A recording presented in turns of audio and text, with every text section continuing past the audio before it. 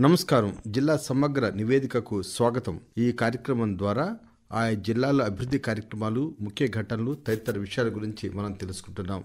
ప్రస్తుతం హన్మకొండ జిల్లా నుంచి మా ప్రతినిధి పి. శ్రీనివాసరావు గారు అందుబాటులో ఉన్నారు. వారిని అడిగి మరిన్ని వివరాలు తెలుసుకుందాం. నమస్కారం శ్రీనివాసరావు గారు. నమస్కారం అండి. హన్మకొండ జిల్లాలో ఇటీవల చోటు చేసుకున్న సంఘటనలు కార్యక్రమాలు ఏమిటి? హన్మకొండ జిల్లాలో ప్రధానంగా పార్లమెంట్ ఎన్నికల నోటిఫికేషన్ వెలువడడంతో మొత్తం ఎన్నికల వాతావరణం జిల్లాలో నెలకొంది. ఎన్నికలు దగ్గర పడుతుండటంతో ఓటింగ్ శాతం పెంచేందుకు అధికారులు కూడా తగు చర్యలు తీసుకోవడం జరుగుతుంది. ఈ వేసవి కాలంలో ప్రధానంగా త్రాగునీటి సమస్య అనేది ప్రధానంగా ఉంటుంది. ఈ త్రాగునీటి సమస్య పరిష్కరించేందుకు కూడా అధికారులు తగు చర్యలు తీసుకుంటున్నారు. వచ్చే విద్యా సంవత్సరానికి ప్రతి పాఠశాలలో కూడా మౌలిక వసతుల కల్పన కోసం అధికారులు చర్యలు చేపడుతున్నారు. జిల్లాలో పార్లమెంటు ఎన్నికల ఏర్పాట్లు ఎలా ఉన్నాయి?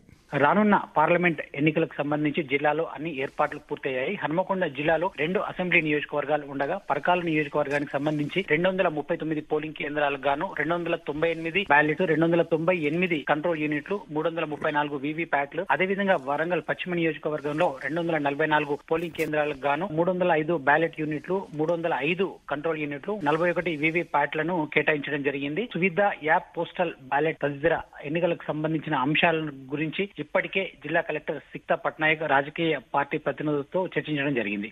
జిల్లాలో ఓటింగ్ శాతం పెంచేందుకు అధికారులు ఎలాంటి చర్యలు చేపడుతున్నారు?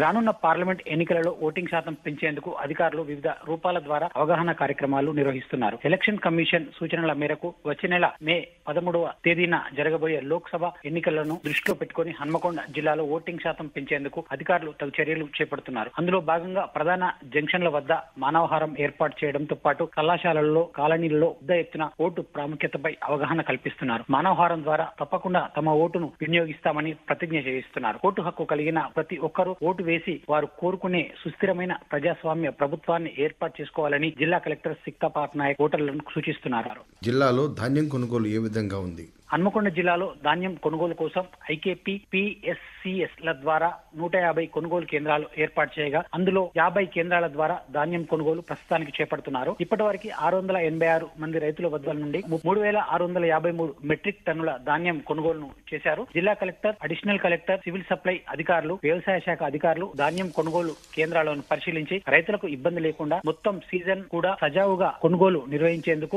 అన్ని చర్యలు తీసుకుంటున్నారు. ధాన్యం నాణ్యత ఉండే విధంగా విధంగా రైతులు చూసుకోవాలని అధికారులు రైతులకి సూచిస్తున్నారు. ధాన్యం కొనుగోలు కేంద్రాల వద్ద ఏవైనా ఇబ్బందులు తలెత్తితే రైతులు అధికారుల దృష్టికి తీసుకువచ్చి విధంగా చర్యలు చేపడుతున్నారు. రైతుల నుంచి కొనుగోలు చేసిన ధాన్యం వివరాలను నమోదు చేసి రైతులకు పేమెంట్ అందే విధంగా చర్యలు చేపడుతున్నారు. జిల్లాలో వేసవి కాలంలో త్రాగునీటి కొరత లేకుండా అధికారులు ఎలాంటి చర్యలు చేపడుతున్నారు?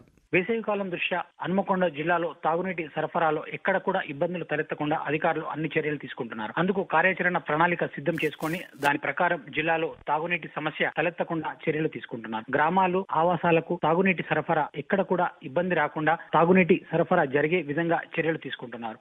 బోర్లు చేతి పంపులు బావుల ద్వారా త్రాగునీరు ప్రజలకు అందించేందుకు చర్యలు తీసుకుంటున్నారు. ఇప్పటి వరకు తాగునీటి సరఫరాలో ఎక్కడ కూడా ఇబ్బందులు లేకుండా వేసవి కాలం దృష్ట్యా హన్మకొండ జిల్లాలో త్రాగునీటి సరఫరాలో ఎక్కడ కూడా ఇబ్బందులు తలెత్తకుండా అధికారులు అన్ని చర్యలు తీసుకుంటున్నారు. అందుకు కార్యాచరణ ప్రణాళికను సిద్ధం చేసుకొని వేసవి కాలం దృష్ట్యా హన్మకొండ జిల్లాలో త్రాగునీటి సరఫరాలో ఎక్కడ కూడా ఇబ్బందులు తలెత్తకుండా అధికారులు అన్ని చర్యలు తీసుకుంటున్నారు. అందుకు కార్యాచరణ ప్రణాళికను సిద్ధం చేసుకొని దాని ప్రకారం జిల్లాలో తాగునీటి సమస్య తలెత్తకుండా చర్యలు తీసుకుంటున్నారు. హన్మకొండ జిల్లాలో ప్రభుత్వ పాఠశాలలో మౌలిక వసతుల కల్పనకు అధికారులు తీసుకుంటున్న చర్యలేమిటి? హన్మకొండ జిల్లాలోని ప్రతి మండలంలో ప్రభుత్వ పాఠశాలలను మోడల్ స్కూల్స్గా తీర్చిదిద్దేందుకు అధికారులు చర్యలు తీసుకుంటున్నారు. పాఠశాలల్లో మౌలిక వసతుల కల్పనకు చర్యలు చేపడుతున్నారు. ప్రణాళికతో మౌలిక వసతుల సదుపాయాల ఏర్పాటుకు కృషి చేస్తున్నారు. పాఠశాలల్లో ముందుగా మైనర్ రిపేర్లని పూర్తి చేసి తదుపరి మిగతా పనులని కూడా పూర్తి చేసి మే నెల చివరి నాటికి మిగతా పనులు పూర్తి చేయాలని ప్రణాళిక సిద్ధం చేశారు. ప్రతి ప్రభుత్వ పాఠశాలలో మౌలిక వసతుల కల్పనలో భాగంగా పాఠశాలల్లో బాలికల కోసం ప్రత్యేక టాయిలెట్ల నిర్మాణంతో పాటు పాతవి